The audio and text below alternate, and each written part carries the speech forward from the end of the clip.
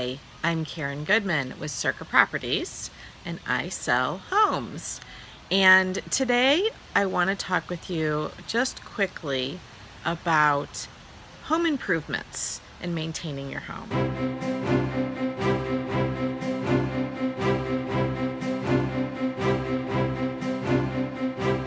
I've worked with a lot of buyers over the years that really want newer homes because they are looking for a maintenance-free home. And the truth of the matter is, is no home is maintenance free.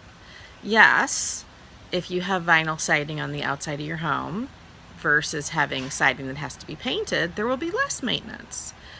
And if you have brick on the outside of your home, you know, you're going to have to do some tuck pointing from time to time. But, you know, I lived in a house once for seven years and never touched the tuck pointing at all because it holds up really well. So it doesn't mean that things don't have to be done forever but there are always things that need to be maintained.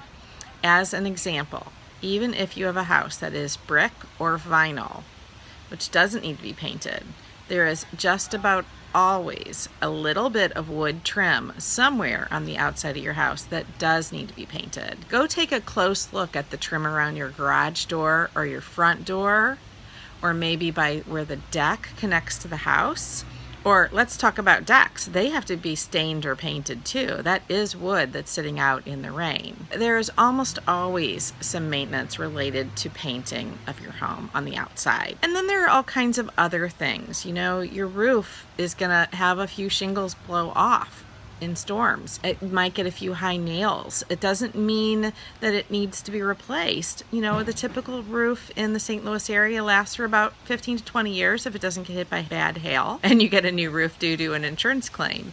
But that doesn't mean that you go 20 years without needing to do anything at all. If you can do it, great. If you can't and you, and you know somebody handy, wonderful. Otherwise, you know, hire a handyman or a roofer that you know or trust, or I can suggest one if you don't know or know one that you would trust that will walk the roof for you and tell you if there's any repairs that need to be done. Somebody that you really trust that they're not going to just try to talk you into doing things that don't need to be done. But there is always home improvement that needs to be done. And the other piece of this is that, yes, some of this is going to help the value of your home if you're going to go to sell later. But some of it is just maintaining your home. You know, when you buy a car, and you do oil changes, that doesn't add to the value of your car. It's supposed to keep it running the way it's supposed to run and have it not break down more often. But it, you don't get more money because you change the oil. And that's the same with a house. There are just things you just have to do because homes if they are not maintained, get run down. You're gonna have to paint periodically. You're gonna have to change the carpet periodically. Carpeting that is seven to 10 years old looks pretty bad. It just doesn't last that long. Um, paint that it's been more than five years, even in a well-kept home, gets scuffed up in spots.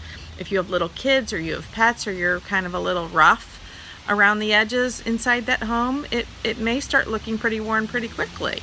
I just recently met with a homeowner who was getting ready to sell and she was going through the long list of things that she had done since she had moved into the home, which was a, a long time ago, maybe about 20 years. Um, and that was fabulous. It was great for her to know all of those things that she had done to the home. But one of the things that she shared with me was she had replaced the air conditioner, and that's fabulous. It's one of the big expensive things that buyers would really prefer not to do and they would hope that the seller has done.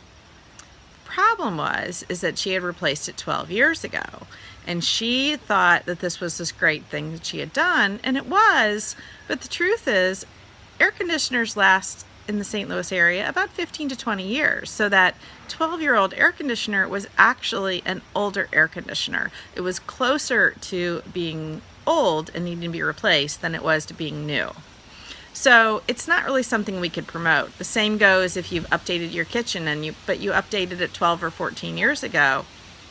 It's not really an updated kitchen anymore. If you want to call it an updated kitchen, you really need to have done it in the last five years and it needs to be with things that are similar to what you would find in the stores if you were shopping today. And if you did that over 10 years ago, it's unlikely that the finishes, the cabinets, the hand, the, the, the drawer pulls, um, the backsplash, that that's really what you would find in the stores today. So I just want you to think about that. I'm not saying don't make improvements to your home, but keep in mind that there is a time limited span on when something is considered new. And the longer you stay in your house, um, the more likely things that you've done are really aren't, aren't going to have an impact when the day comes for you to sell. But that said, be sure to keep maintaining your house because the last thing you want to do is let it really get run down because that's going to really hurt you and you will not be worth what the other homes in your neighborhood are worth if you didn't take really good care of the house over the years. So that's all I wanted to share today. I'm Karen Goodman. I'm with Circa Properties. If you have any questions about how to fix something or should you fix something, I'm happy to answer. It doesn't mean you have to be ready to move. Just shoot me a message or give me a call. Let me see what I can do to help.